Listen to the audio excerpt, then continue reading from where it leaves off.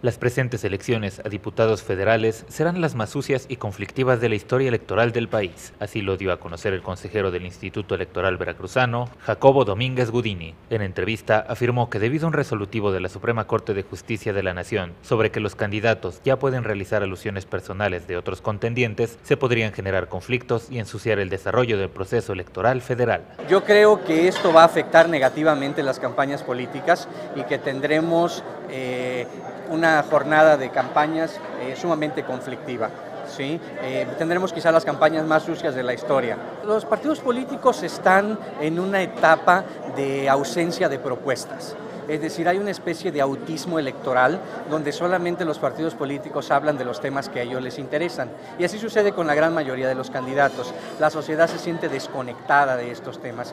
Yo creo que es un momento para replantear políticamente la oferta de los partidos y si los partidos políticos no son lo suficientemente convincentes, tendremos altos índices de abstencionismo.